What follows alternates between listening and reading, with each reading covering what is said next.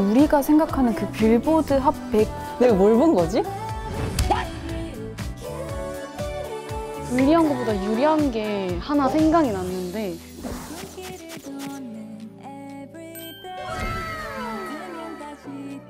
지금 제일 떠오르는 음식은 하나, 둘, 셋. 네 명의 멤버들과 픽스가 됐었을 때도 이쪽 한 켠에는 또 부상이 되지 않을까라는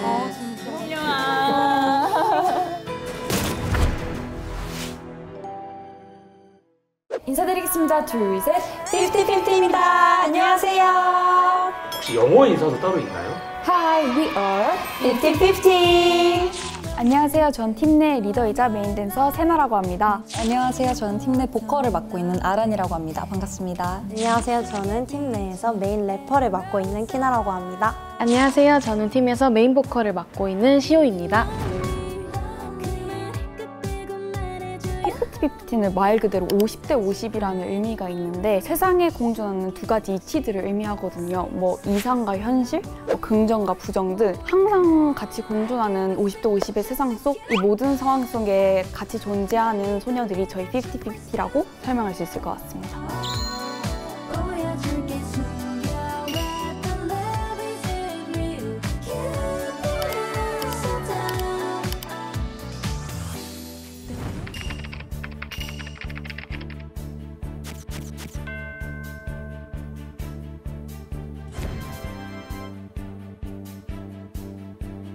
대표님이 저희 단톡방에 그 소식을 알려주셨어가지고 어? 어? 안 믿었어요. 뻥져 있어서 우리가 생각하는 그 빌보드 핫 100, 부모님께서 너무너무 자랑스럽다고 말씀하시면서 목소리가 되게 흔들리시는 거예요. 그래서 왜 울어? 아직 왜 울어?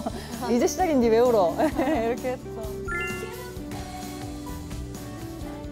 항상 데뷔 전부터 음악의 진정성을 담자 이게 저희 모토였기도 하고 그게 대중분들한테 뭔가 잘 전달이 돼서 그런 결과가 나오지 않았나 하는 생각이 조금 있습니다. 저희 모든 시스템이 저는 굉장히 기본을 뚫고 나가는 방식을 고수를 하고 있다고 생각해요. 저희 모두가 워낙 새로운 게 많이 나오는 추세고 하다 보니까 이렇게 오리지널로 뚫고 나가는 그룹이 있구나를 잘 간파해 주셔서 예쁘게 봐주신 거 아닐까 싶습니다.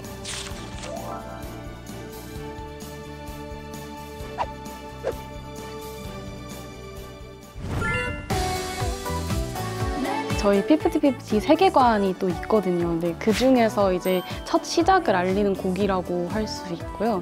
Cupid so dumb 하는 가사가 있는데 그게 이제 큐피드 바보야 내가 이제 쟁취할 거야 하는 그런 메시지가 담겨 있는 곡이라서 쟁취해 나가는 소녀들의 모습을 담았다고 봐주시면 될 것 같아요. 크레딧을 한번 봤더니 키나님 이름이 있는 것 같은데. 프로듀서님이 기회를 주셔서 작사에 참여를 하게 되었습니다. 아, 내가 생각해도 이건 너무 잘 지었다. You know, hey, the, the, the dumb boy라는 말하듯이 하는 구간이 있는데 그 구간을 정말 많이 바꿨어요. 몇 번까지 했어요? 하나. 아, 진짜 셀 수 없지 근데. 진짜 셀 수가 없어요. 옆에서 봤었거든요. 네. 수정을 하다가 그런 문장이 나와서 아 이거다. You know, hey, the, the, the dumb boy.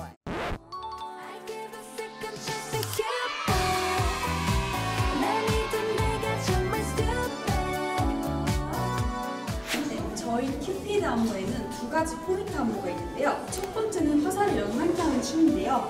일단 화살이 있다고 생각해 주시고 화살을 잡아 당겨주세요. 일단 쏘시고 up, touch, touch 해주시면 됩니다. 두 번째 포인트 안무는 스텝인데요. up, 다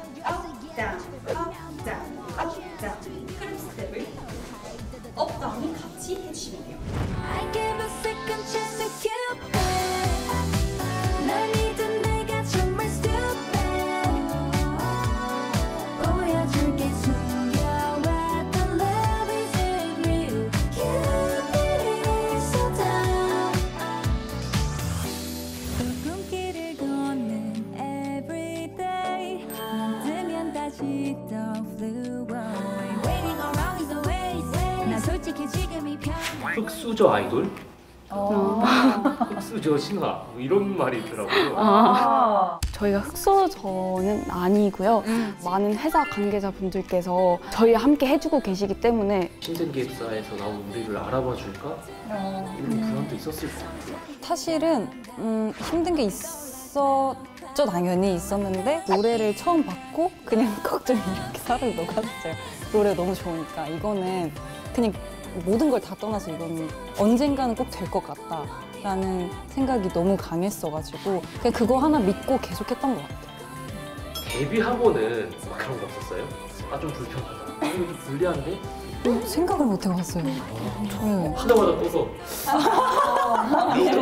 아닙니다 불리한 것보다 유리한 게 하나 생각이 났는데. 아무래도 프로듀서님이랑 직접 이야기를 나누다 보니까 유대 관계가 쌓이는 게 빨랐고 저희가 음악을 더 참여해서 할 수 있었던 것 같아요. 또한 저희 아티스트가 일단 저희가 지금 유일하기 때문에 저희 50-50만 보고 모든 직원분들이 정말 열심히 정말 최선을 다해서 해주시고 계시거든요. 많이 도전적인 곡들을 많이 시켰었거든요. 저는 보컬리스트인데 저한테 랩을 시킨다던가 에미넴의 랩을 했었던 적이 있었어요. 고질라라는 곡이었는데 아무래도 뭔가 연습생 시기 때는 어, 저희가 잘하는 것을 더 잘하기 위한 노력도 중요하지만 못하는 것을 더 보완하고 더 잘할 수 있도록 더 노력하는 게 저희는 우선이었거든요. 저는 연습생을 통틀었던 기간 7년 반 정도 했던 것 같아요. 데뷔조가 꾸려졌다고 얘기를 들은 게 사실은 두세 번이었는데요. 그 두 번이 좀 무산이 됐어요. 그래서 사실은 이 저희 네 명의 멤버들과 픽스가 됐었을 때도 뭔가 이쪽 한 켠에는 또 무산이 되지 않을까라는 아? 그런 불안함이 없지 않아 솔직히 말해서 있었던 것 같아요. 근데 너무나 감사하게도 이런 좋은 멤버들과 데뷔를 할 수 있었던 게 저는 진짜 그거에 정말 행복감을 너무 많이 느꼈었고 어, 정말 이 친구들이랑 정말 잘 해봐야지라는 생각을 하게 해준 친구들이어서 행복하게 데뷔를 했던 것 같아요. 힘들어요 지금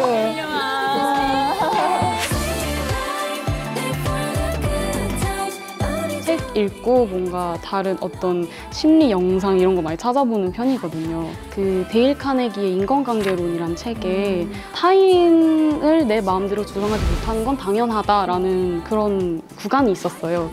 다른 사람한테 상처받고 뭔가 세상에 상처받고 그래도 당연히 내 마음대로 할 수 없기 때문에 그건 그렇게 감내를 하고 잘 지나가는 거다 이렇게 생각하게 만들어줬던 것 같아요.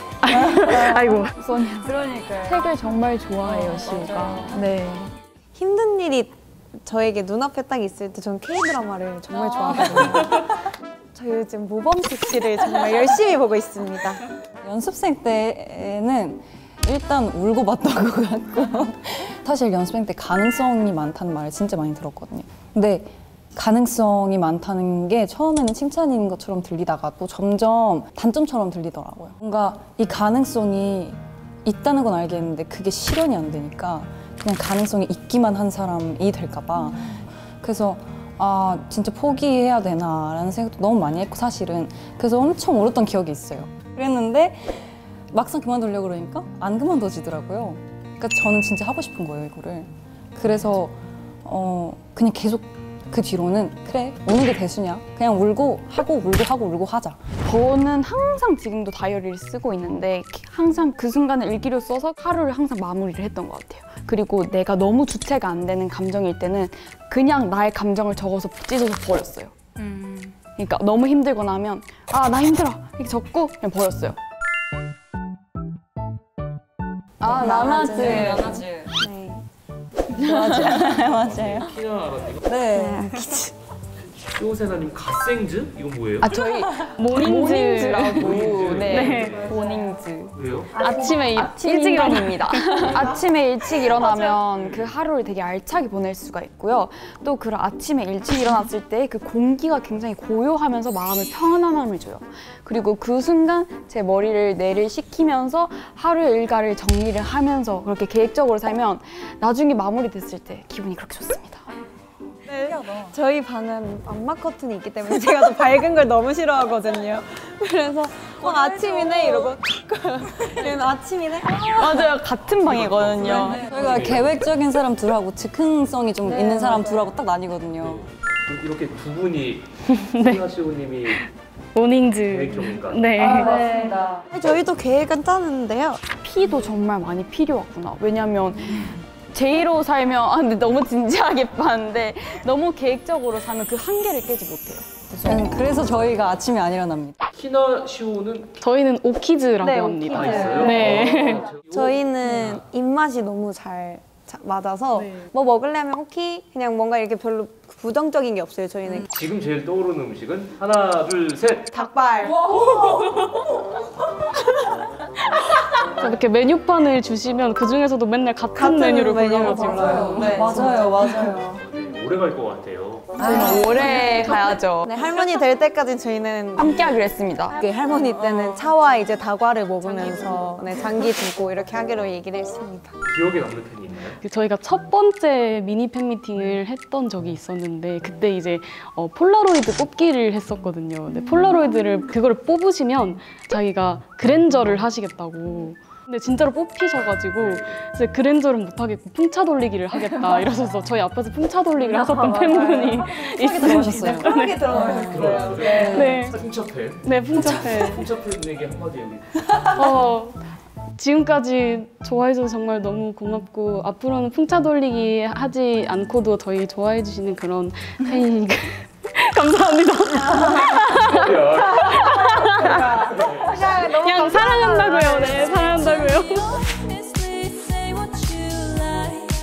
이제 시작인 만큼 더 저희가 하고자 하는 거에 진심으로 담아서 어, 전달하는 것이 제 꿈이고 저는 계속 발전하는 거? 꿈이자 목표이자 궁금증인 것 같아요. 어디까지 발전할 수 있을지. 저희가 오래오래 유지가 되는 게 사실은 저의 꿈이자 목표인 것 같아요. 저희가 오래 가야 저희만의 음악도 들, 들을 수 있다고 생각을 하고 항상 어렸을 때부터 스스로 표현하는 사람이 되고 싶다라는 생각을 했었어요. 그래서 앞으로 좀 제 감정이나 그런 것들을 좀더 솔직하고 어, 매너 있고 위트 있게 좀 표현하는 그런 사람이 되는 게 제 꿈인 것 같아요. 많은 사랑과 관심을 주신 만큼 이제 시작이면 더 책임감 갖고 열심히 하는 피프티피프티가 되겠습니다. 그럼 지금까지 피프티피프티였습니다. 감사합니다.